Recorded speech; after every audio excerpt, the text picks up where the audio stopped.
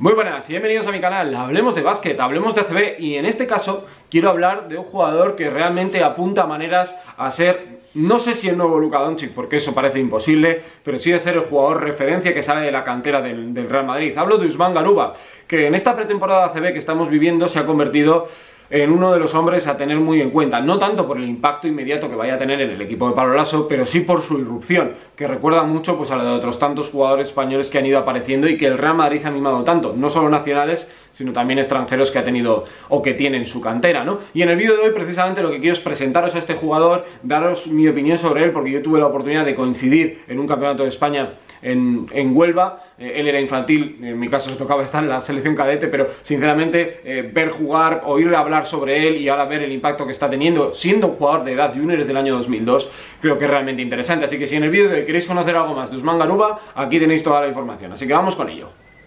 Aunque tenga mucho camino por andar, realmente Usman Garuba eh, apunta maneras de ser un jugador grande. Lo vimos en la selección este pasado verano, eh, lo vimos también, o lo estamos viendo en esta pretemporada con el Real Madrid, en la que no tiene miedo a nada y parece que asume todos los retos con naturalidad. Su historia, o por lo menos la de la familia, es realmente curiosa. Él huye de Nigeria, eh, sus padres por, por problemas ¿no? en el país, eh, aterrizan en Bélgica, pero en los 90 llegan a España y donde nace Usman y sus dos hermanos, que creo que tienen 14 y 8 años respectivamente, eh, y él, pero es criado en Azuqueca de Henares. Estuvo un año en, en un equipo allí, eh, hasta que firmó por el Real Madrid, vieron su potencial, jugador de 2.02, 100 kilos, un poquito más, eh, y que sinceramente eh, llama la atención. Uno, porque es muy adaptable al 4 y al 5. Dos, porque su capacidad reboteadora a esas edades se ve muy poco. El pasado verano estuvo en 12 capturas por encuentro. Y tres, por la variedad de recursos ofensivos que ofrece eh, en el equipo. Es capaz de jugar de cara, es capaz de jugar de espaldas y es muy contundente en situaciones de pick and roll. Y cuando está cerca del aro, finaliza muy bien. Y esto, aunque es cierto que juega contra jugadores de más o menos su edad, un año más, un año menos,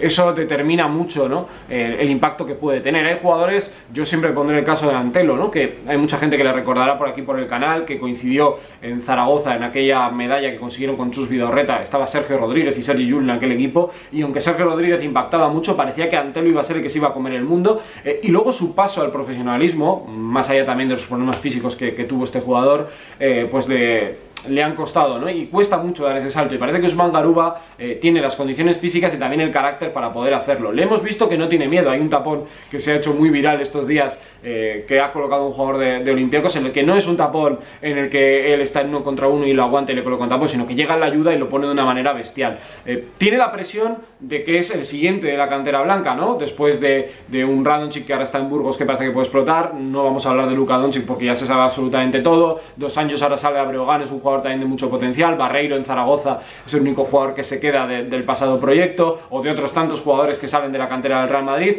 pero tiene esa presión de ser un, nuevo jugador interesante para el Madrid, pero también la tranquilidad de que ahí está un Reyes, está un Tompkins, está un Randolph, está Kuzmich o Tavares y que no va a tener eh, minutos de relevancia este año. Yo sí creo que puede tener ciertas opciones. Pablo Lasso alguien que no tiene miedo a poner jugadores a, a, canchas, tenga la edad que tengan, tiene también la tranquilidad de estar en un Real Madrid en el que está muy bien rodeado, eh, pero sinceramente, si no es este año, el año que viene veremos el impacto de este jugador.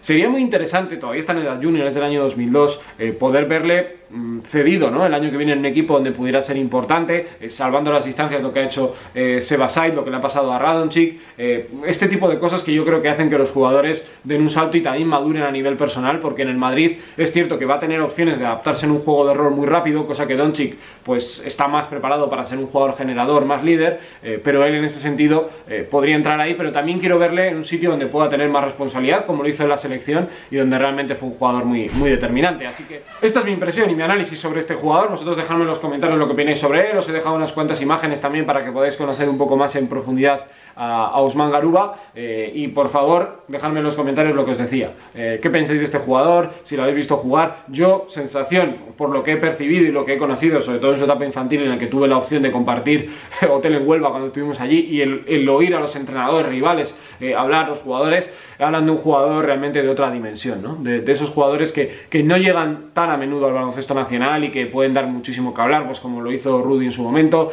el nivel de lo que hizo Ricky, pues un impacto como lo tuvieron los Navarro Raúl López, eh, Pau Gasol, etcétera, etcétera, de esos jugadores que marcan un hueco y que si las lesiones se lo permiten, que esto es fundamental, además un hombre que depende tanto de su físico eh, y que todavía está en crecimiento, porque mide 2.02 y podría crecer todavía un poco más, pues realmente es muy, muy interesante. Así que, por favor, si os ha gustado, darle al like, suscribiros al canal y nos vemos en el próximo vídeo. Hasta luego, adiós.